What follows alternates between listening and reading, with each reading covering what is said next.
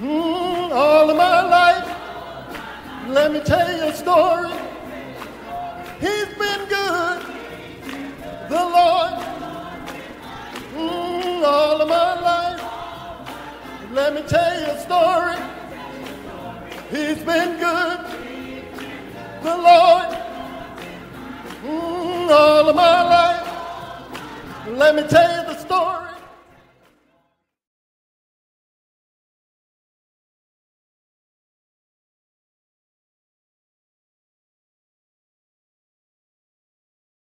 In the fullness, in the fullness, yes, in the power of your, you lift me up. You lift me up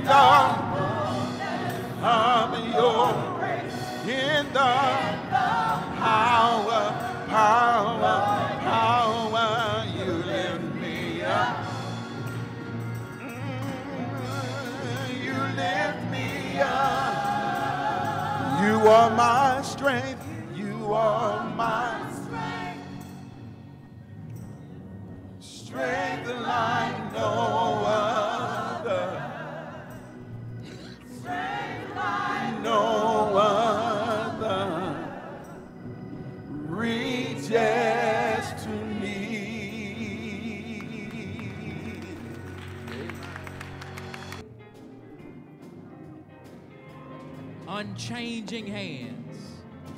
Let's sing together as the choir leads us. Swift, swift transition.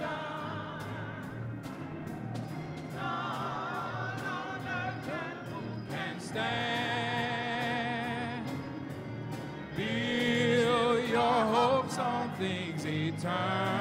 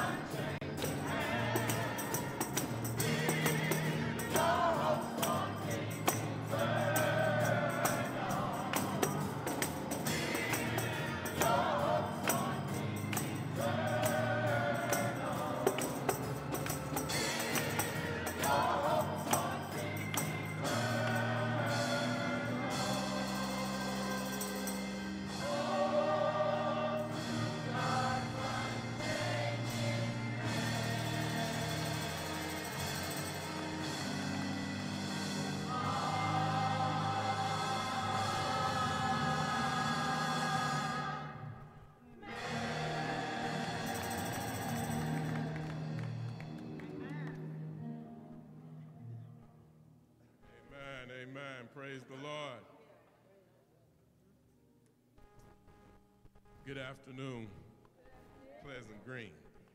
Amen. Our scripture for this afternoon will be Romans 10, verses 1 through 10. Romans 10, verses 1 through 10. Let us read together.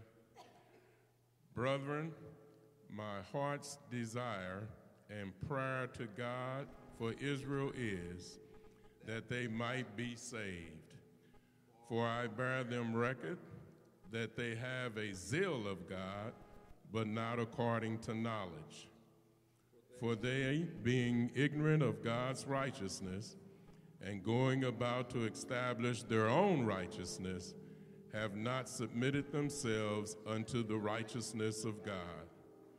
For Christ is the end of the law for righteousness to everyone that believeth.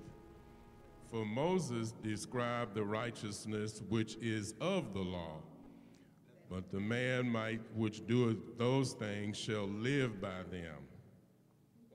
But the righteousness which is of faith speaketh on this wise Say not in thine heart, Who shall ascend into heaven?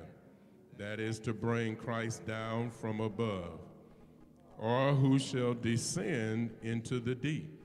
That is to bring up Christ again from the dead. But what saith the word is nigh in thee, even in thy mouth and in thy heart, that is, the word of faith which we preach that if thou confess with thy mouth the Lord Jesus, and shall believe in thine heart that God had raised him from the dead, thou shalt be saved.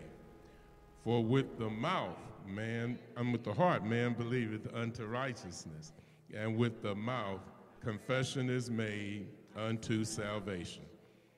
Amen. May God continue to add his richest blessings to the readers to the hearers, and most certainly to the doers of his word. God bless you.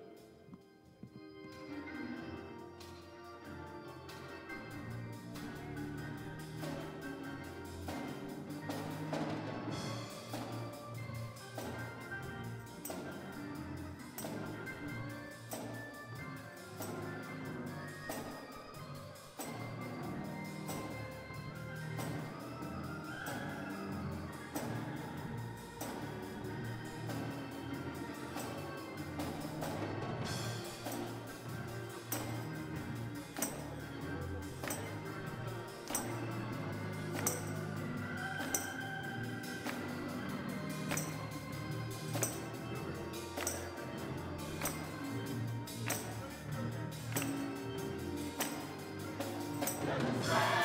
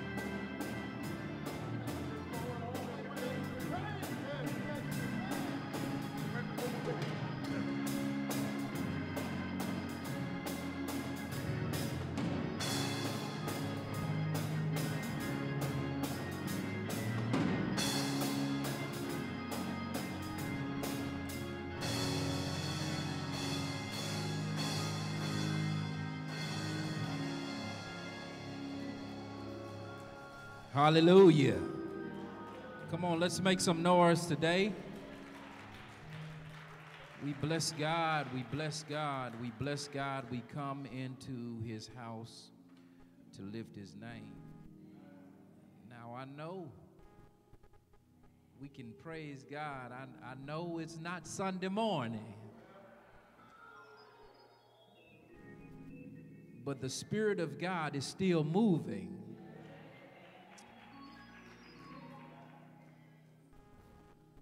I don't know about you, I can feel it on the altar of my heart. Uh, Jesus Christ says that God is a spirit. And they that worship God will worship God in spirit and in truth. And I know that because you are here on Saturday afternoon, I know you can worship Him anywhere. Amen. You can worship Him anywhere. Brothers and sisters, uh, we uh, don't want to monopolize your entire afternoon, uh, so we'll get to the Word of God. Amen. You all always do it for me when you sing that song. He has done marvelous things. Amen. And I can still reflect upon Mother Katie Ward. Amen. And she hit that high note and and she does it for us. Amen. Amen. Again, we want to go to the Word of God, and um, we're thankful to see all of you here today. Uh, we'll go to Matthew. I know a lot of you want to go get your beads and uh, maybe you want to enjoy some of the carnivals and the festivities. Uh, but we want to understand that our mighty God is before Mardi Gras. Amen. Our mighty God is before Mardi Gras. Amen. Man, so we, as we understand the season that we're in, we have left uh, the Christmas season The epiphany, now we're at the precipice of Lent season. And sometimes, brothers and sisters, what we try to, how we try to celebrate God, many times, um, many times uh, unbelievers try to take our celebration and turn it into something else. So we want to go to Matthew, the fourth chapter, and understand uh, why we move into a Lent season. Why we move into a Lent season. Matthew 4 1 through 11.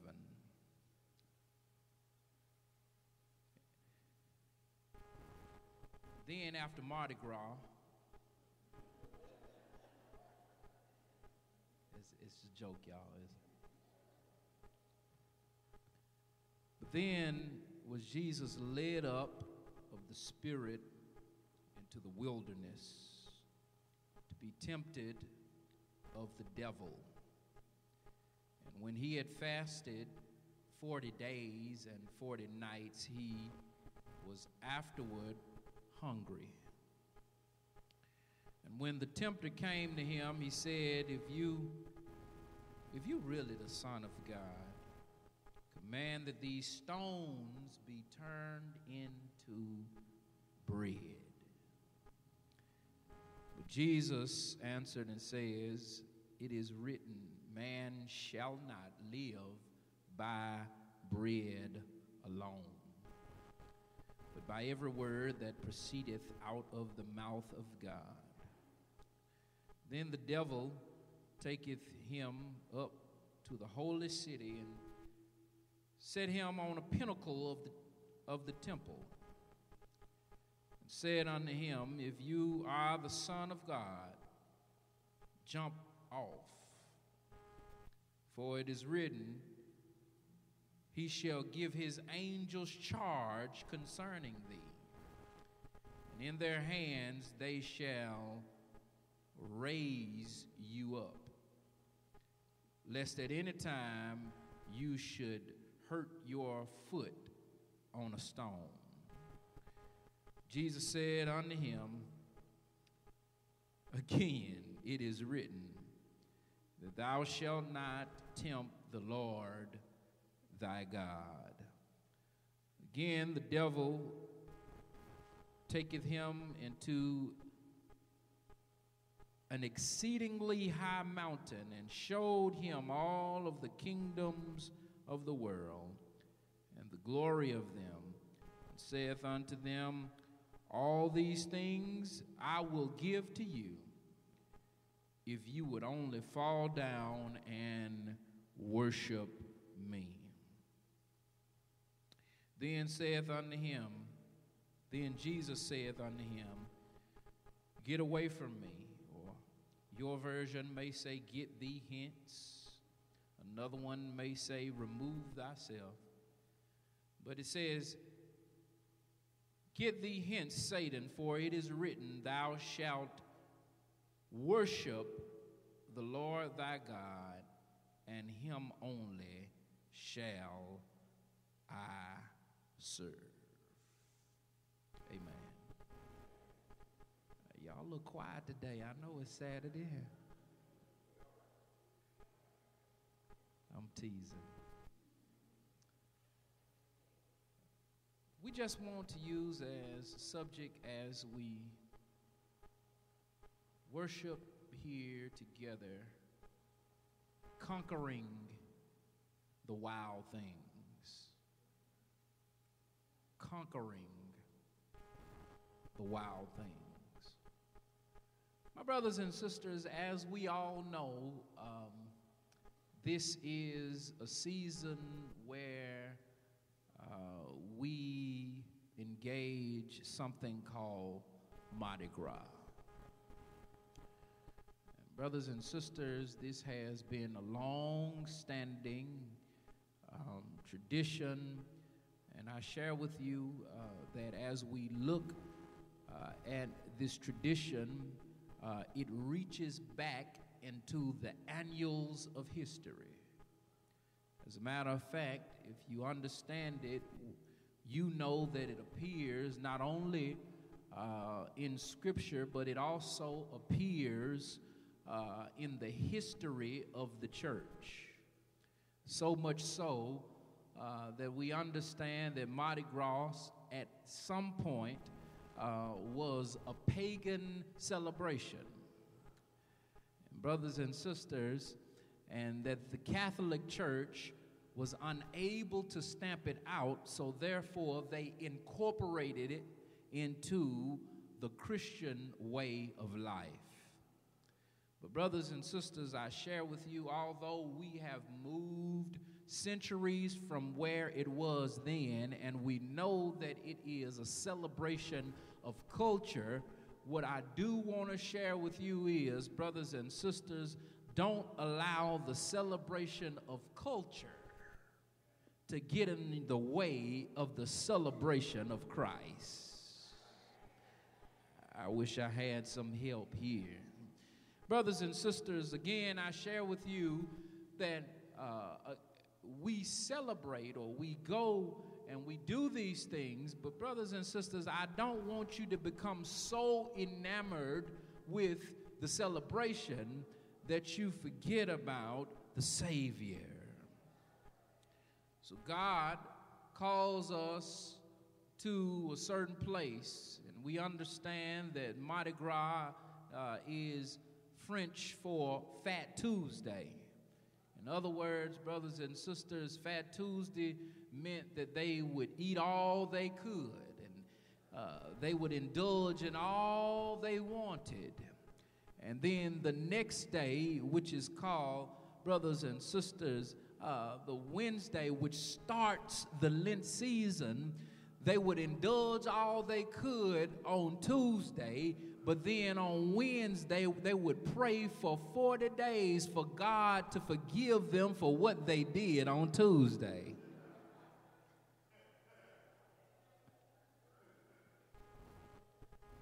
Again, I'm not saying that we can't celebrate because, brothers and sisters, that was a long time ago, is now more about culture and the mixing of people.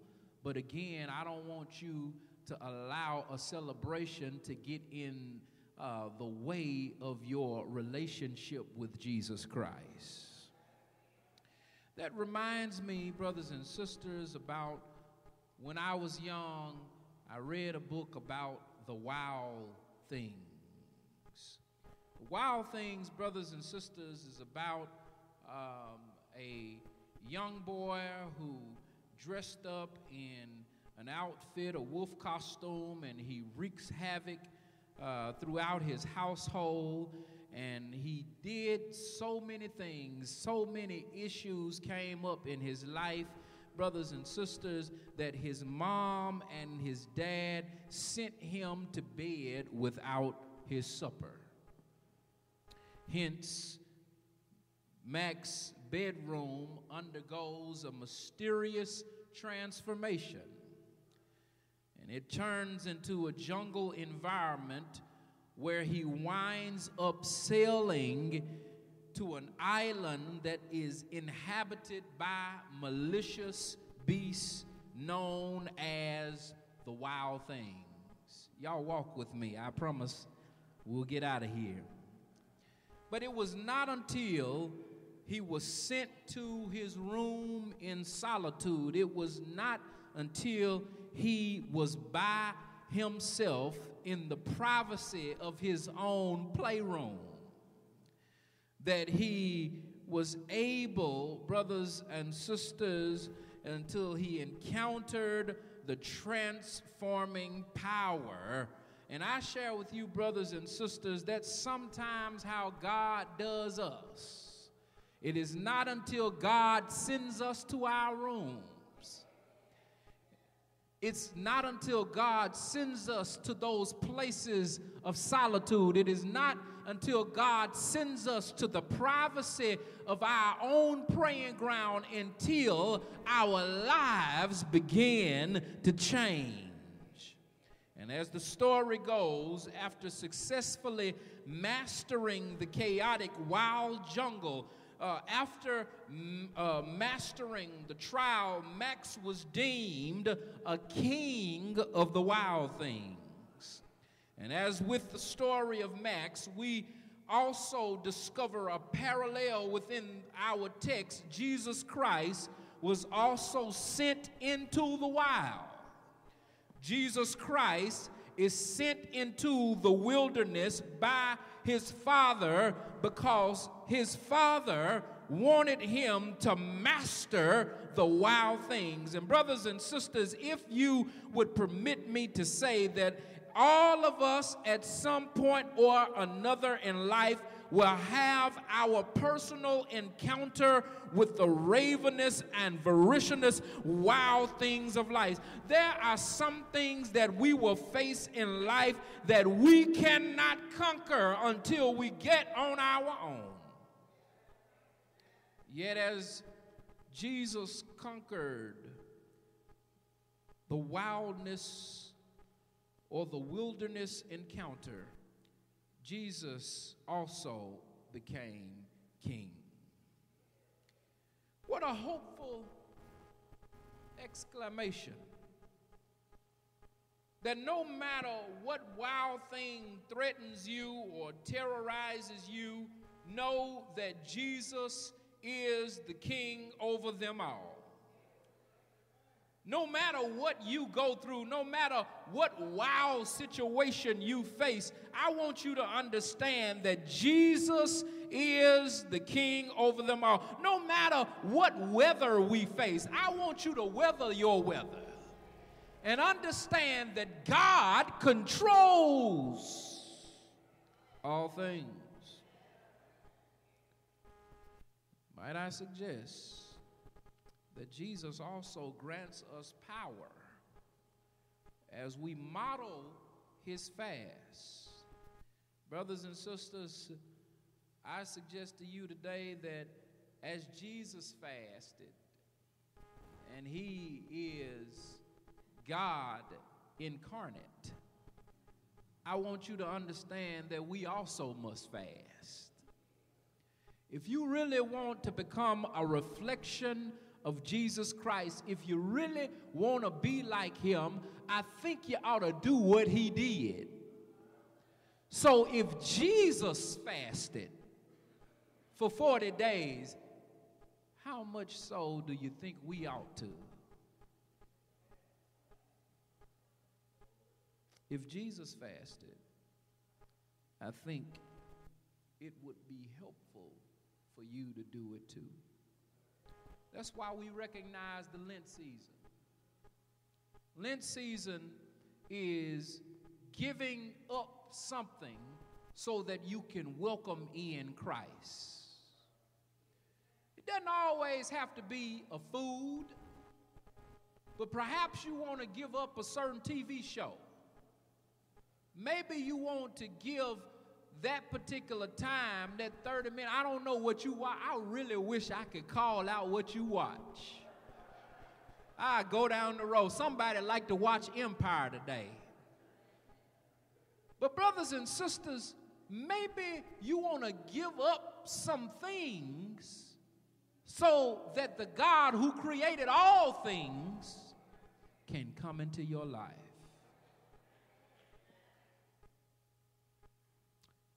and he'll make you a conqueror over the wild things. The Apostle Paul says it's like this Know that in all things we are more than conquerors through him that loved us. So, brothers and sisters, as we, uh, I'm a little hot, y'all. I'm not taking this off like I'm about to tear up church. Don't, don't get that As a frame of reference for our fasting because Lent originated as a mirroring of Jesus Christ. Mirroring of Jesus Christ, 40 day fast in preparation for his ministry, crucifixion, and ultimately his resurrection.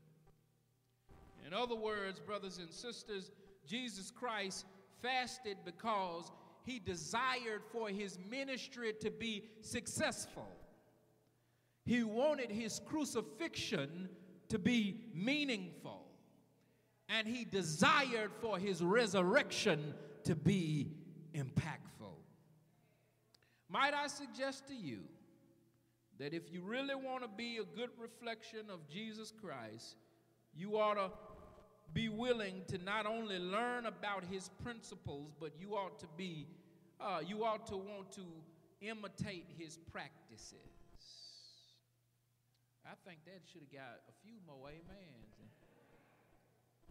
If you really want to be a good mirror of who Jesus Christ is, you ought to not only want to learn about his principles, but you want to imitate his practices. Christ is the authentic image of perfection for the believer. In other words, I know we hear some things in Scripture, and sometimes we get confused, but the way I understand it, because one of the things people talk about, they talk about tithes, they talk about offering. They, they say, well, Exodus says this, uh, Paul says this, but what does Jesus say? Jesus settles it all for us. So Jesus is the ultimate mirror of perfection for the believer, and as believers, we ought to be a worthy reflection of Jesus Christ. For to follow his perfect example is to recognize and honor our Savior. For when you follow his perfect example and you imitate his practices, he'll make you to be able to conquer those things you thought were unconquerable. Nevertheless, as we desire to conquer these things, first of all, I want you to see in the text that there is purpose in the process. There's purpose in the process. Next time we have Saturday service, we're going to get some Starbucks. There's purpose. There's purpose. There's purpose. We're going to do uh, uh, kinesthetic exercise. Turn to your neighbor and tell your neighbor, say, there's purpose in the process. All right, amen. Verse 1 says that Jesus was led by the Spirit into the wilderness. He was led into the wild to be tested. Eugene Peterson says it like this Jesus was taken into the wild by the Spirit for a test. In other words, Jesus he, he went into that Lent season because the Lord wanted to test him. Says the devil was ready to give it. I want you to know that anytime that the Lord tests you, the devil is ready to give that test. Text says that Jesus was led there by the Spirit. In other words, it was by divine design that you face some ups and that you encounter some downs. It is by divine design that you not always stand on the mountaintop uh, of, uh, uh, of cheerfulness, but sometimes God puts you in the valley so that you can be tested. You know, a cake, it does not uh, bake until you put it in the oven. I ain't never seen no cake come out whole and ready to eat without an oven. If, if you know how to do that, please talk to me. So we've got to go through a particular test. We've got to go through a divine design. Like John, Jesus had to exhibit confines of society for his supernatural encounter with God. You, you, you cannot have a supernatural encounter if you are always among people.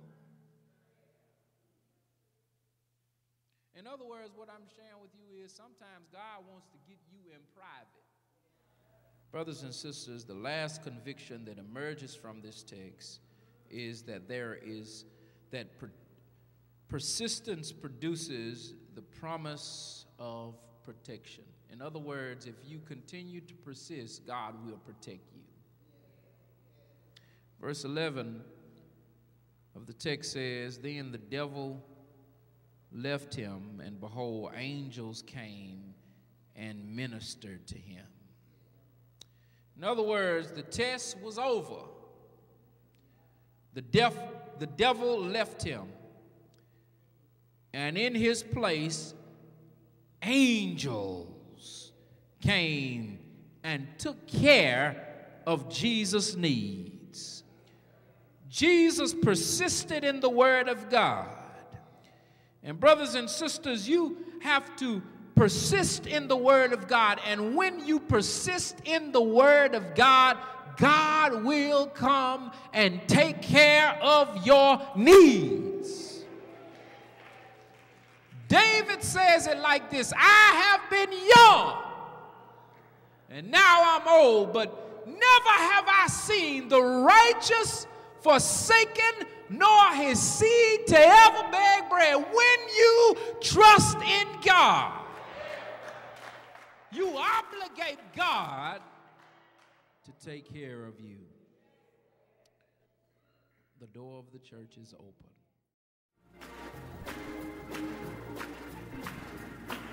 Mm, all of my life, let me tell you a story. He's been good, the Lord.